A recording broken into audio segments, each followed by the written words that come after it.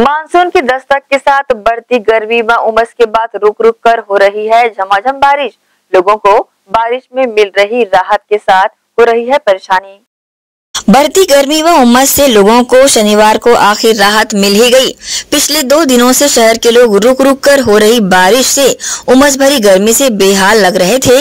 वहीं आज झमाझम बारिश के बाद लोगों को राहत मिली है। शनिवार को सुबह से धूप छाव के खेल के बाद आसमान में हल्के बादलों ने डेरा डाल लिया था। वहीं दोपहर से तेज हवा के साथ झमाझम बारिश होना शुरू हुआ, जिसके बाद उमस भरी गर्मी से बेहाल हो रहे लोगों ने राहत की सांस ली। मौसम सुहाना हुआ और लोग घरों के बाहर गली मोहल्लों की सड़कों व घरों की बालकनी पर मौसम का आनंद लेते दिखाई देने लगे। गौरतलब है कि बढ़ती गर्मी व तपिश से लोगों को राहत मिली है। ज़िले के कुछ कुछ स्थानों पर हुई बारिश से मौसम सुहाना हो गया है।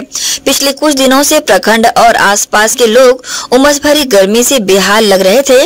बारिश के बाद लोगों को राहत मिली है। मिली जानकारी के अनुसार तापमान में हो रहे उतार चढ़ाव से शनिवार को ज़िले का अधिकतम तापमान 32 डिग्री सेल्सियस रहा।